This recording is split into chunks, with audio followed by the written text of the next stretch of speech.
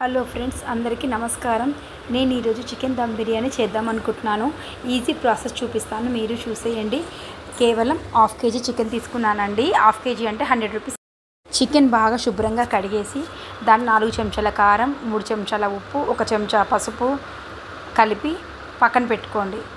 ఈలోపు gas stove on చేసేసి ఒక బగోని పెట్టుకొని ఐదు చెంచాల వరకు నూనె కానీ నెయ్యి కానీ వేసుకోండి. తర్వాత సాజీరా చెక్క లవంగం పట్ట పచ్చిమిర్చి వేసి పక్కకు పెట్టండి. ఈలోపు ఒక పెరుగండి ఒక పావు కిలో పెరుగు గడ్డ పెరుగు వేసేసి కలిపేసి పక్కన పెట్టుకోండి. మినిమం ఒక గంట అరగంట పెట్టుకున్న పర్ ప్రాబ్లం లేదండి. ఆ తర్వాత పుదీనా ఆకులు వేసేసి మరొకసారి కలుపుకోండి. ఈలోపు ఈ బాగా కాలాయి కదండి సాజీర లవంగ పట్ట అన్నీ వేసాం కదా దీంట్లో. తేజ్ అండి తేజ్ అంటే తెలుసు కదా బేలీఫ్ వేసేసి పక్కన పెట్టుకోండి. ఆ తర్వాత గంట తర్వాత అల్లం వెల్లిగడ్డ పేస్ట్ వే వేసి మరొకసారి బాగా కలుపుకోండి. కొంచెం గరం మసాలా కూడా వేసుకోండి. నేను సూర్య గలం గరం మసాలా వేసాను. తాలింపులో కూడా కొంచెం అల్లిగడ్డ పేస్ట్ వేసి మరొకసారి కలిపి సిమ్లో పెట్టుకోండి. ఇవన్నీ బాగా వేసి కలిపాయి. ఒక మినిమం ఒక అరగంట గంట పక్కన పెట్టుకోండి. లేదులో ఫ్రిడ్జ్లో పెట్టినా కూడా సరిపోతుంది. నేనైతే బయట పెట్టేశానండి. చూడండి ఎంత బాగా కలిపానో. మనం ఎంత బాగా కలిపితే అంత బాగా స్పైసీగా ఉంటుందండి. Spicy spicy chicken biryani ready అవుతుంది. సో తాలింపు అన్నీ మా మంచిగా కాలాయండి. సో చికెన్ కూడా వేసేసి బాగా మ్యాగ్నెట్ అయింది కదండి. చాలా బాగుంటుంది. సో ఇప్పుడైతే కలిపేసి పది పదిహేను నిమిషాలు మూత పెట్టి వదిలేయండి.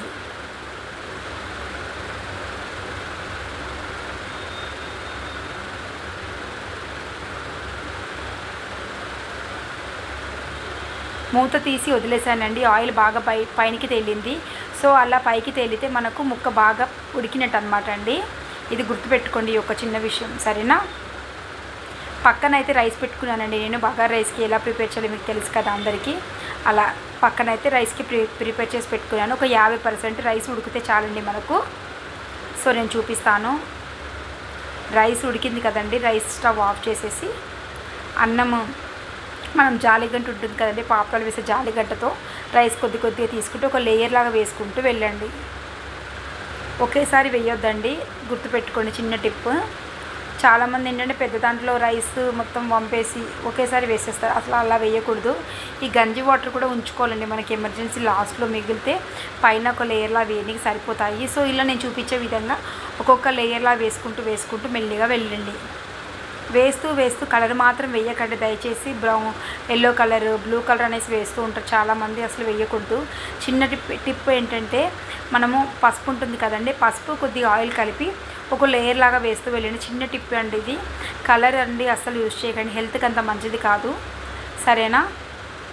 అన్నీ వేసేసి ఆనియన్స్ అయితే నేను ఏమి యూజ్ చేయట్లేదండి. బ్రౌన్ మీకు కావాలి అంటే బ్రౌన్ ఆనియన్స్ బాగా ఆయిల్లో వేయించి రోస్ట్ చేసి పైన ఒక లేయర్లా వేస్తూ వెళ్తూ ఉండాలి. సో నేనైతే అన్నీ వేసేసి పక్కన మూత పెట్టేసి పెనం పెనం వేడి చేసి పెనం మీద పెట్టి ఒక ఇరవై నిమిషాలు అలా వదిలేసేయండి. పైన బరువుకి ఒక రుబ్బు రోలు కూడా నేను పెట్టుకున్నానండి. ఎందుకంటే ఆవిరి బయటికి పోకుండా. మీకు రుబ్బు రోలు లేకపోతే పిండి అవుట్లైన్గా చుట్టి అలా కూడా పెట్టుకోవచ్చు.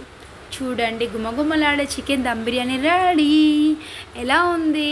నాకు మాత్రం ఈసారి టేస్ట్ చాలా బాగా నచ్చిందండి. ఎప్పుడు ఒకలాగా అవుతుంది. ఈసారి ఇంకా టేస్ట్ తదిరింది నాకు చాలా నచ్చింది. మీరు ఖచ్చితంగా ఒక్కసారి ఇలా సింపుల్గా ట్రై చేయండి. అన్ని ఇంగ్రీడియంట్స్ మన ఇంట్లో ఉన్న వాటితోటి మాత్రమే చెప్పానండి. చాలా తక్కువ రేట్లో అయిపోతుంది మన ఖర్చు. అదే బయట తినాలంటే సింగిల్ వచ్చేసి వన్ సిక్స్టీ ఉందండి. సో ఇలా ఒక్కసారి మనం చేసుకున్నాం అనుకో కేజీ బియ్యం చికెన్ తోటి కేజీ బియ్యం కేజీ చికెన్ అలా చేసుకున్నారంటూ ఇంటిల్లో పాది తినేయచ్చు. మరి నచ్చిందా వీడియో? మరి ఒక చిన్న లైక్ వేసుకొని లైక్ వేసుకోండి సబ్స్క్రైబ్ చేసుకోండి షేర్ చేయడం మర్చిపోవద్దు. వీడియో నాకు తప్పకుండా కామెంట్ చేయండి. థ్యాంక్ యూ అండి అందరికీ. బాయ్ నచ్చిందా? లైక్.